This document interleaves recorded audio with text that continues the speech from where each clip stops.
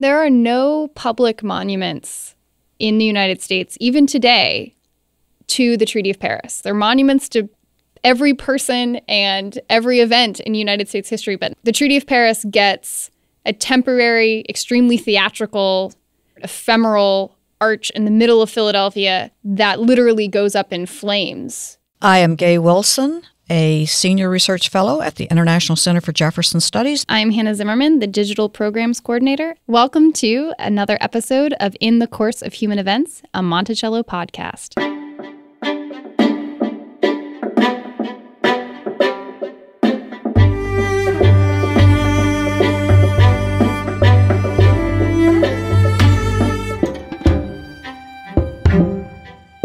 My name is Eliga Gould. I'm a historian at the University of New Hampshire. I am writing a book about the Treaty of Paris, which I'm calling Crucible of Peace A Global History of America's Founding Treaty. If you think of the United States as having three founding documents, the first, of course, is the Declaration of Independence.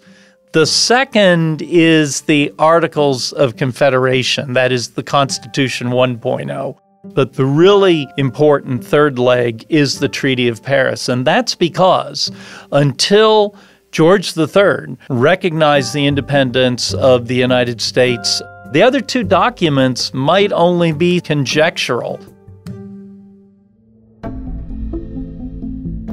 The Treaty of Paris did end the war for the United States with Britain. It took a while in the negotiation stage because we had international allies France, Spain, the Netherlands, and all of that had to be negotiated as well. But the document that was signed on November 30th, 1782, by Benjamin Franklin, John Adams, John Jay, Henry Laurens, that did essentially end conflict with Great Britain. I think what's often lost with the American Revolution is that it is a world war. It's involving all of those powers that you just named, but it's also involving the Native American nations here in the United States. It's involving vast pieces of land, and decisions are being made about where do the boundaries of the United States begin and end. And so the treaty is an integral part of ending that war and solidifying the United States' place in world politics and power. And of course, with the boundaries that were set, it made it a much larger and more significant nation geographically, in that the Mississippi River was established as the western border. So it was quite significant just in the geographic makeup of the new country. Gaye, you mentioned all of the signers Benjamin Franklin, John Adams, John Jay, Henry Laurens. They brought the A team for the Treaty of Paris, and they're just missing Thomas Jefferson. Well, they just barely missed getting Thomas Jefferson there, in that he had turned down two commissions to go to Paris because of his wife's health. Her health was not good, and he was pretty open about he would not leave her and she could not make the trip. He still got to go to Paris. Ambassador to France is a pretty good consolation prize. It was not bad. Charles Willson Peale builds the Triumphal Arch to celebrate the end of the Revolutionary War, and in particular, the ratification of the Treaty of Paris. It must have been a wonder to behold. It was 40 feet high, and it straddled the main thoroughfare in Philadelphia, Market Street. There's a central opening, and it's wide enough for a horse drawn carriage or sleigh to pass through it. And then on the side openings, pedestrians can walk through. Charles Willson Peale, his idea is to paint scenes which covered the arch. Most of them are symbolic. The one of George Washington, for example, shows Washington dressed as the Roman hero Cincinnatus, who had famously hung up his sword at the end of the war and returned to his plow as an ordinary farmer. Cincinnatus had declined to be a dictator for life, and this had been the great fear that Washington would want that. There were a number of others Victorious Soldier, the 13 Stars of the United States. Peale puts all of this on the arch, so most of the covering is either canvas or paper. It's built with a timber frame, and there's a series of platforms inside it. He's perfected a method for having illuminated paintings. He's got a thousand lamps behind this. He's on one of the platforms and he's tending them. He may well be lighting them. Again, we don't know exactly how that part of things was going to work. And so as night falls, the people of Philadelphia will be able to see these backlit transparencies. It must have been quite a remarkable scene. Peale had fashioned a larger than life figure of peace. And it's not just peace, but she has her courtiers around her in clouds. And at Peale's signal, this figure of peace was to descend by a rope onto the upper deck of the arch. You can practically hear the crowd gasping as peace suddenly appears. Would have been great in the Pennsylvania Gazette, they gave it a lot of coverage, encouraging people to come out to see it because it was going to be beautifully illuminated and it was the ingenious Captain Peale who was now preparing the paintings. They said, as the illumination will continue for many hours, the spectators will have an opportunity of examining the whole work at leisure. From a balustrade will be thrown up a constant succession of fine fireworks. But I think it does show that at that time, there was a high degree of excitement about the Treaty of Paris. And I think two things in that article are so interesting. Number one, they refer to Peale by his military rank. He's Captain Peale. So the Treaty of Paris is celebrating the end of a war. And using his military rank shows his commitment to the cause. And also, what a big event it was. Peale had done other illuminations, not quite this extravagant, but when they learned of the surrender of Lord Cornwallis at Yorktown, there was a major celebration in Philadelphia at that time. He did another when Washington was actually coming to Philadelphia after this battle. And oh, the great commander was going to arrive. He made these paintings that could be illuminated because they were on a sheer fabric. He put them over the windows of his house, then with the lamps behind. And the public then could pass by and enjoy looking at these paintings. So it was entertaining, but yet he was giving a history lesson.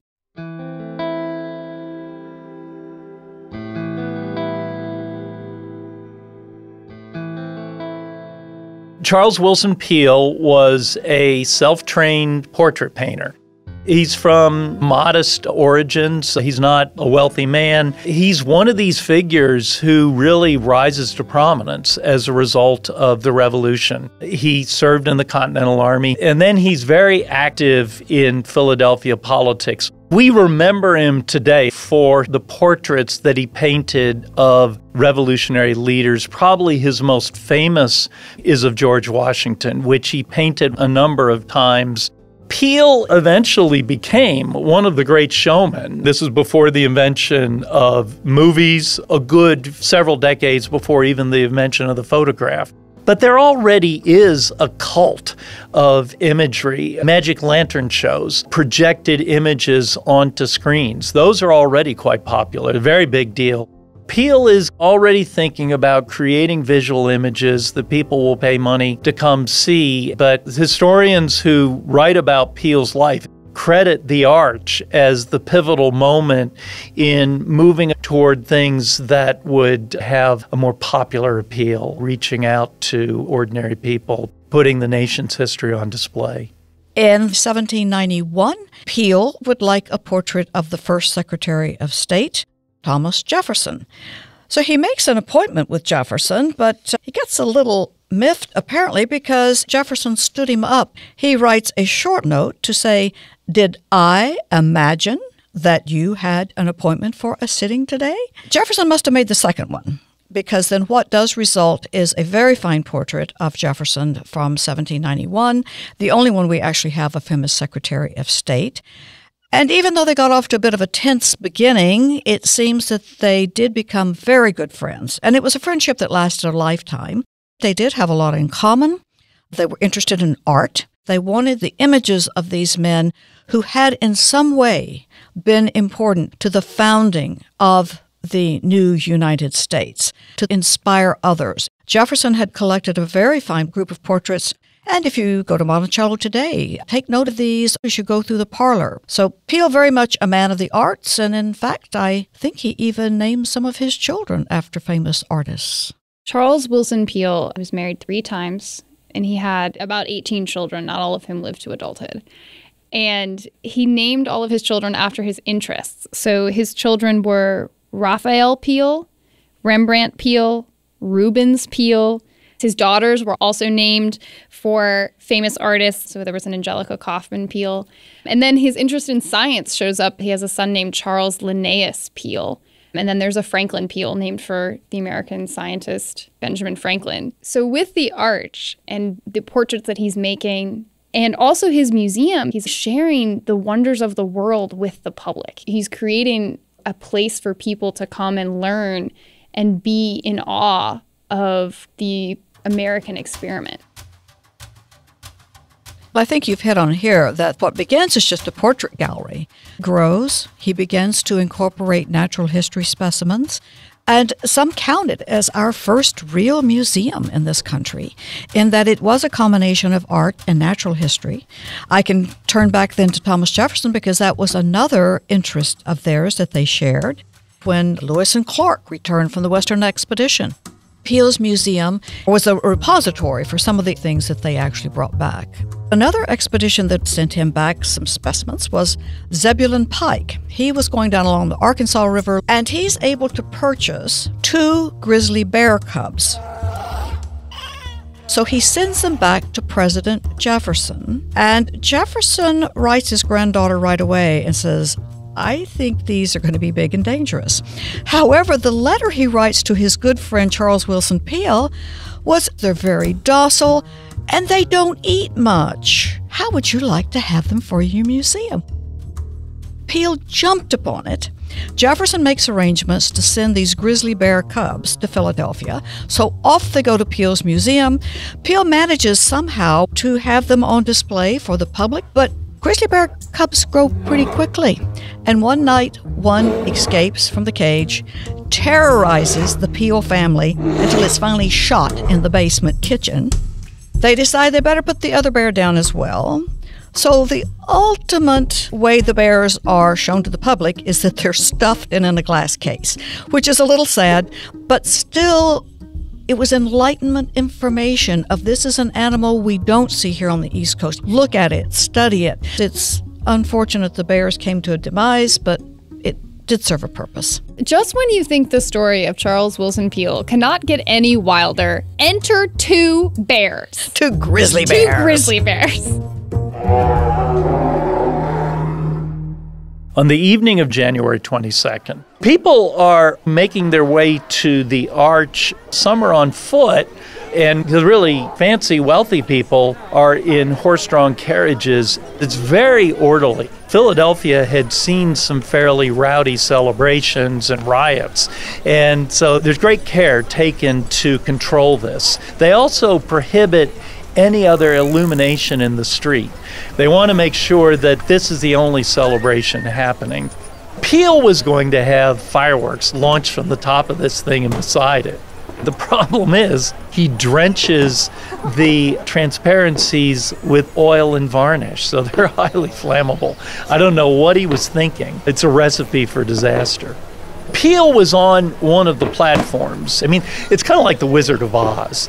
He's got all these lamps and he's tending them when this rocket goes off and ignites the paintings. And so he has to get out of there. He leaps onto a platform underneath the upper platform, but there are rockets there that are going off. You know, one hits him, catches his coat on fire, and in a desperate bid, he pushes through the sailcloth which covered the back of the arch, and jumps. And he hits a board on the way down. It breaks two of his ribs, but it breaks his fall as well. And it probably saves his life. The accounts we have of this, they talk about not only people panicking, but horses panicking really, it's a miracle that there are only two casualties. One of them is the artillery sergeant in charge of the fireworks, the other is an unnamed woman. But a lot of people are injured, including Peale himself. The scene described is chaotic. Peale is falling, people are panicking, horses are panicking, there's fire. Two people die. This is just chaotic and it's so interesting. It's not reported as this horrible disaster the same way it would be reported today. It's interesting that he still remained a public figure that is famous and not infamous and that his reputation doesn't suffer because of this horrible accident. You can go back to the theater of the time because all of the footlights were candles or little oil lamps of some type. And of course, then things are going to catch on fire. Curtains, scenery, away it goes.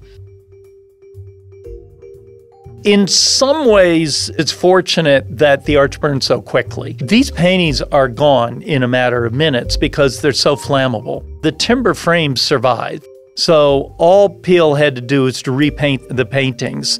The Pennsylvania Assembly does not give him another 600 pounds. So Peale has to raise the money by subscription, and some of it he pays out of his own pocket. But there are wealthy benefactors who are willing to help him. There's quite a lot of conflict between the rich and poor during the Revolutionary War. There is a lot of economic dislocation.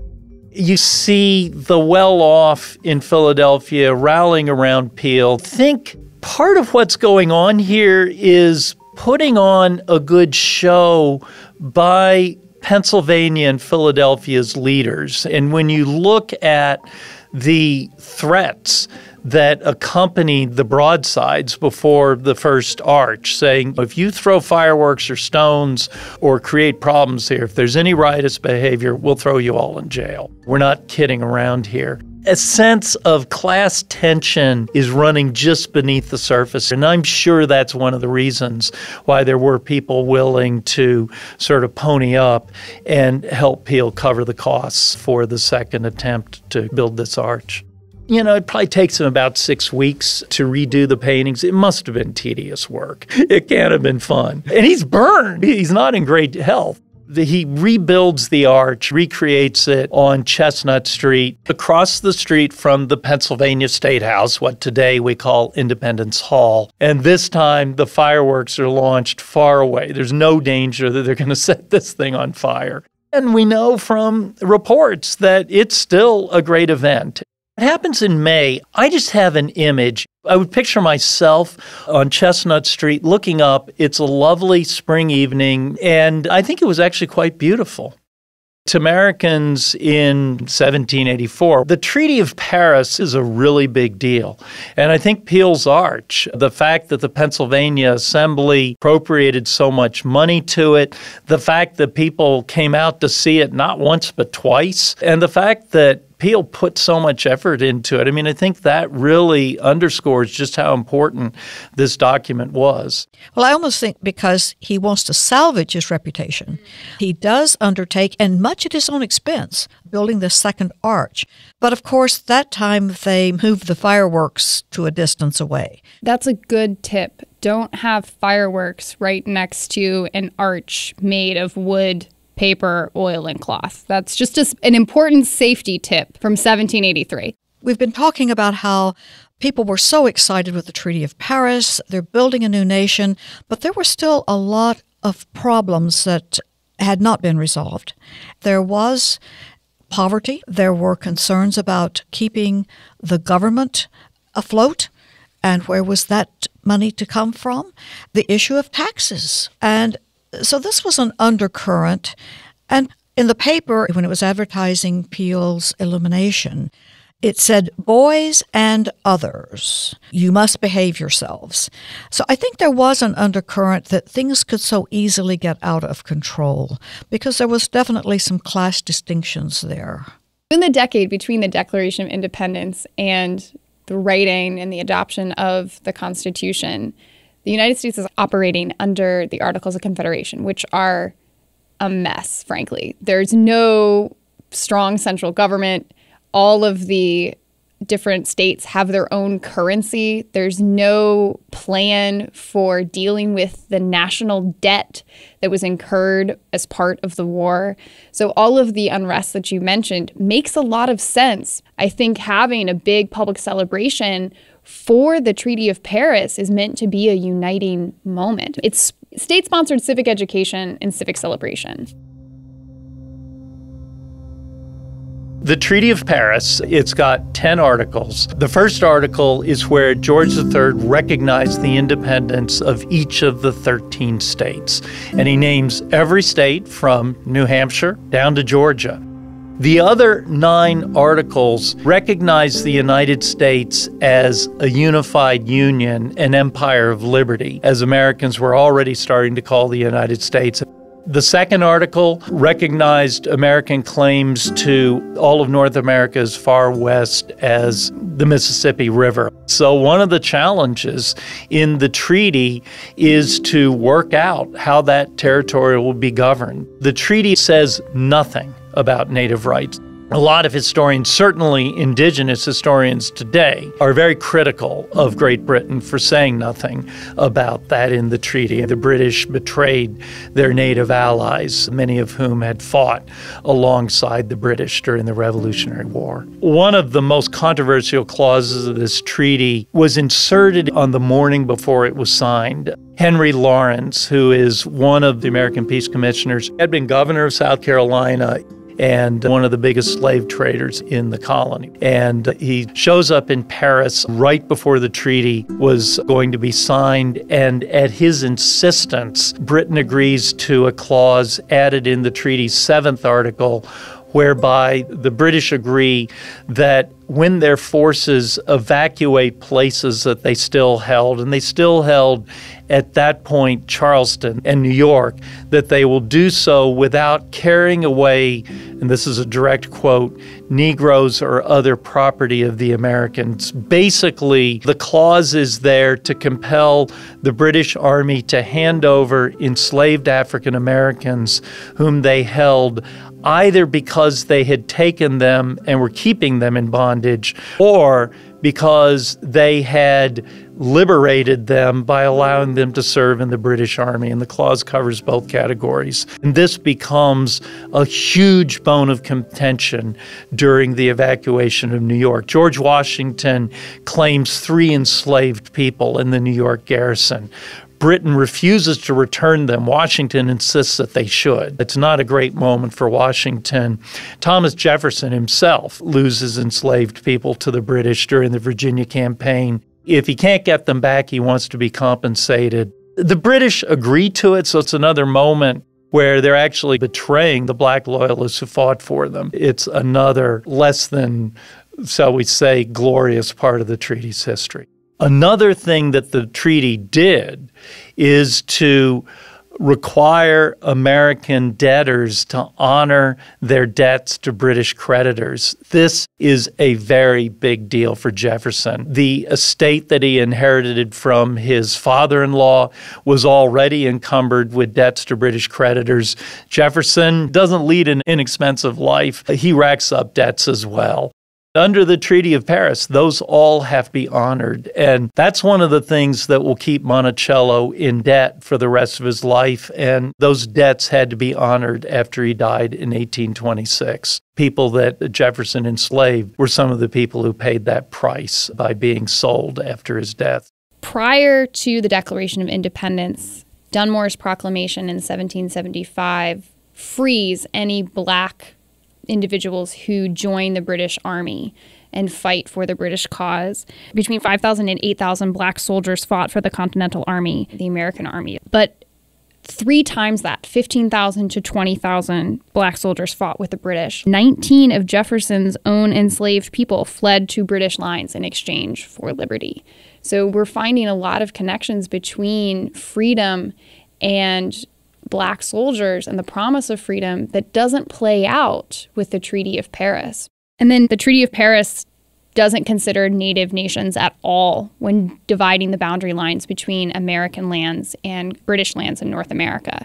The idea that native nations had sovereignty just is not taken into account. Their land is divided over and over again to two other countries that are just not thinking about them at all. I'm a former sixth grade teacher, and the students were completely mystified by the actions of the United States government with regards to Native Americans in this time period. Because, of course, you do not move onto land where people are already living. You don't move into the house next door when your neighbors are still there. The fairness and justice that sixth graders understand is something that the founders missed out on when they're in Paris why don't we think about the Treaty of Paris today? You know, if you go to the National Archives, you will see on display the Declaration of Independence, you'll see the Constitution. They've got the Treaty of Paris, but it's not on display. Why is that? I think there are a couple of reasons. One, the United States today is the most powerful nation on earth. We've forgotten how important the moment of international recognition was. But if you think of places that don't have that recognition, say Taiwan, or what the people of Ukraine are going through, you get a sense of just how important this was. So some of it is we've forgotten our own history.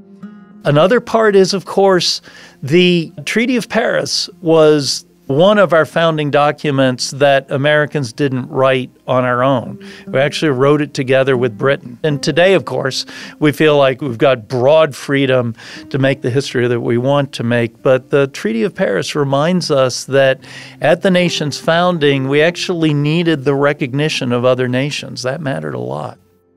I found it very interesting to see how excited the populace was at that time, how much they wanted to celebrate it, how much went into the planning of these celebrations. So it was a big event. And I think that Charles Willson Peale is the only person in that time period who could have possibly pulled it off. He didn't quite pull it off the first time, he kind of did the second time, but if anyone was going to be able to do it, it was going to be him. He had quite the imagination. He ha- he was quite the showman. But I think he was also a man with a purpose and that he wanted to educate for the cause of this United States. He was sincere about that and remained so throughout his lifetime. Thanks, Gaye. It was great to talk to you about Charles Willson Peale. And thank you, Hannah. It was great fun talking with you. And also want to thank Eliga Gould for bringing our attention to this Treaty of Paris of 1783, a very important moment in our history. Such a good story.